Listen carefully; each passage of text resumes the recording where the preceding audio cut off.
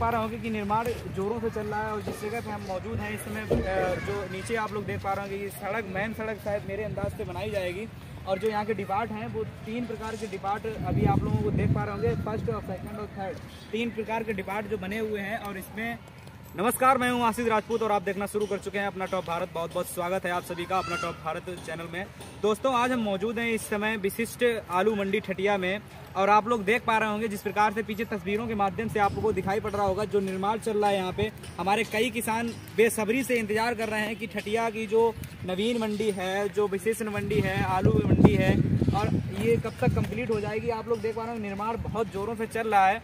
हालाँकि मुझे अनुमान लगता है, और मेरे अगर अंदाज से सोचा जाए तो और सूत्रों के मुताबिक मुझे पता भी लगा है कि अगली सीज़न में दोस्तों, ये आपकी नवीन मंडी जो है स्टार्ट हो जाएगी और आप यहाँ पे आलू वगैरह और कई ऐसी फ़सलें हैं। हर चीज़ यहाँ पे आपको, हर चीज़ का यहाँ पे व्यापारी मिलेगा, हर चीज़ के बारे में और वो जो सबसे ज़्यादा अगर जो नाम से अगर ये जानी जाती है तो विशिष्ट आलू मंडी के नाम से जानी जाती है। और हालाँकि आप लोग भी जानते हैं कि जो कन्नौज क्षेत्र है, वो ज़्यादातर आलू का क्षेत्र है। और तो इसकी लॉन्चिंग कब होने वाली है और कब तक ये निर्माण चलेगा? और मेरे अंदाज से ये नेक्स्ट सीज़न में जो है लॉन्चिंग हो जाएगी तो हमारे साथ यहाँ के इंजीनियर जी मौजूद हैं। इनसे हम जानते हैं कि कब तक इसकी जो है निर्माण चलने वाला है क्या आगे का इसका प्रोसेस रहता है। सबसे पहले सर अपना परिचय बता दीजिए। मेरा नाम मनीष पाल है। मैं साइड इंजीनियर हूँ यहाँ पर जी। उधर देखिए। अच्छा सर तो जो निर्माण अपने यहाँ सर चल रहा है तो निर्माण सर कब तक ये अपने चलने वाला है और कितने परसेंट तक ये निर्माण जो आपका एक मंडी का है जो बनने का वो कब तक कितना हो चुका है? नब्बे परसेंट हमने पूरा कर दिया है। नब्बे परसेंट पूरा हो चुका है। अच्छा सर तो इसकी जो निर्माण की वो कार्य कार्य तिथि होगी तो उसकी तो सर आपको पता होगा जब तक मतलब अभी कार और चलना है। अभी लगभग लास्ट इकतीस मई मान के चलिए। लास्ट इकतीस मई। अच्छा सर तो लॉन्चिंग कब होने वाली है? लॉन्चिंग नए सीज़न में जाएगी नए सीज़न अगली जो सीज़न आएगी उसमें लॉन्चिंग हो जाएगी। अच्छा सर इसमें क्या क्या फैसिलिटी रहेगी? मतलब क्या क्या आलू आलू का किसान तो आएगा ही आएगा। खासकर आलू के लिए। खासकर ये ये मेरे ख्याल से जो ये पार्ट है ये खासकर आलू के लिए। तो और अगली साल जो है इसकी संभावना है कि लॉन्चिंग हो जाएगी।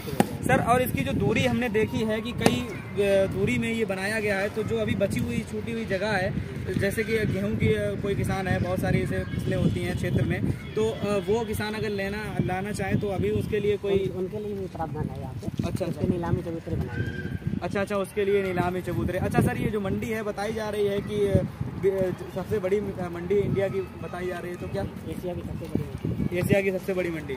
अच्छा सर तो ये जो अभी जो बकाया जो छूटी हुई जगह है इसमें सर निर्माण होने का संभावना है कुछ? बनेगा? इस विषय में नहीं। है। हालाँकि जो नेक्स्ट सीज़न में है जो आप लोग देख पा रहे होंगे तस्वीरों के माध्यम से तीन जो बिल्डिंग है बड़ी बड़ी बिल्डिंग है तो इसका लॉन्चिंग जो है नेक्स्ट सीज़न में होना है। और ये ज़्यादातर आलू आलू मंडी से ये आलू आलू के लिए ये पार्ट रहेगा। मंडी के लिए ही लेते हैं हैं। हाँ आलू मंडी और मैंने कई जगह बोर्ड भी देखा है तो विशिष्ट आलू मंडी आलू मंडी इंडिया नाम से जानी जाती है मंडी। बाकी जो निर्माण रहेगा वो आगे होता रहेगा। जी धन्यवाद सर।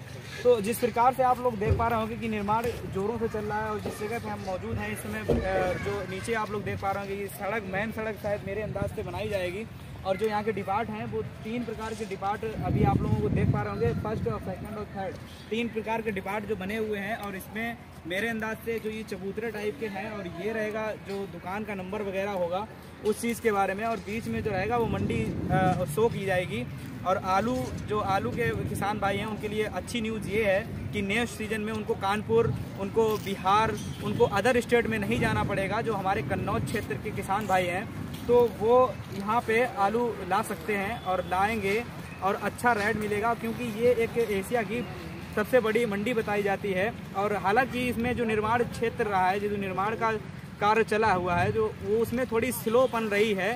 हालाँकि वो सरकार की ढिलाई समझो या कुछ भी समझो, लेकिन फिर भी अगली साल अगली साल ये लॉन्चिंग हो जाएगी और आप लोग भी देख पा रहे होंगे कि पीछे बिल्डोजर वगैरह और जो हाँ ये एक ज़रूरी सूचना ये है कि जो पीछे बचा हुआ ये है, इसके बारे में हम यहाँ के जो प्रबंधक जी होंगे, कोई भी होगा, मैनेजर साहब होंगे, वो अभी आज हमें यहाँ पे मिल नहीं पाए हैं। जो यहाँ के अधिकारी लोग थे, हमारे साथ यहाँ के जो इंजीनियर साहब थे, उनको जो बेसिक इन्फॉर्मेशन पता थी, उन्होंने बता दी। बाकी जो यहाँ के मैनेजर साहब होंगे या जो अधिकारी होंगे, उनसे हम बातचीत करेंगे कि जो बचा हुआ जो पार्ट्स है, जैसे कि बहुत सारे किसान हमारे हैं, इधर गेहूँ की अच्छी फ़सल होती है तो उनके लिए क्या सिस्टम रहेगा? उनका क्या यहाँ पे जो पूरी फ़सल होगी, वो बिक्री हो पाएगी या नहीं हो पाएगी? तो दोस्तों, ये था ठटिया मंडी आलू का जो वो स्टेटस है और आप लोगों ने देखा, मैंने यहाँ का अपडेट दे दिया है। तो आप लोग कमेंट करके ज़रूर बताइएगा दोस्तों कि किस प्रकार की ये मंडी की जो लोकेशन है, वो सही है, ये कैसी है, कब तक स्टार्ट होना चाहिए। आप लोगों के कमेंट करने से मैं इतनी दूर तक आता हूँ और वीडियो बनाता हूँ। धन्यवाद दोस्तों।